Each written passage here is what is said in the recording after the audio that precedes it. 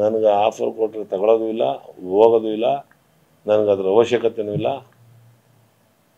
ನನ್ಗೆ ಆ ಥರ ಆಫರ್ನ ನನಗೆ ಟೂ ತೌಸಂಡ್ ಏಯ್ಟೀನಲ್ಲಿ ಬಿ ಜೆ ಪಿಯಿಂದ ಬಿ ಫಾಮ್ನೇ ಕೊಡ್ತೀನಿ ಅಂದರು ಆವಾಗಲೇ ಹೋಗಲಿಲ್ಲ ನಾನು.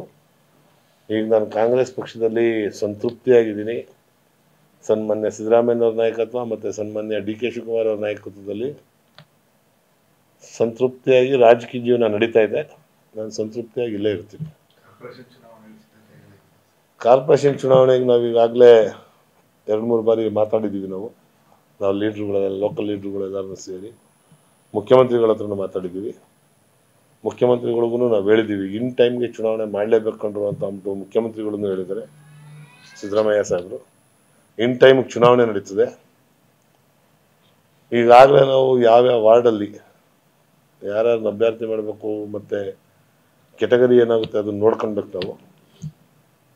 ಯಾವ ಕೆಟಗರಿ ಆದರೆ ಯಾರನ್ನ ಅಭ್ಯರ್ಥಿ ಮಾಡಬೇಕು ಅಂತ ಅನ್ನೋದನ್ನು ನಾವು ಆಗಲೇ ಈಗಾಗಲೇ ಒಂದು ಲೆಕ್ಕಾಚಾರ ಮಾಡಿಕೊಂಡು ಚುನಾವಣೆಗೆ ನಾವು ಸಜ್ಜಾಗಿದ್ದೀವಿ. ಚುನಾವಣೆನ ವಿಶ್ವಾಸಪೂರ್ವಕವಾಗಿ ಎದುರಿಸ್ತೀವಿ.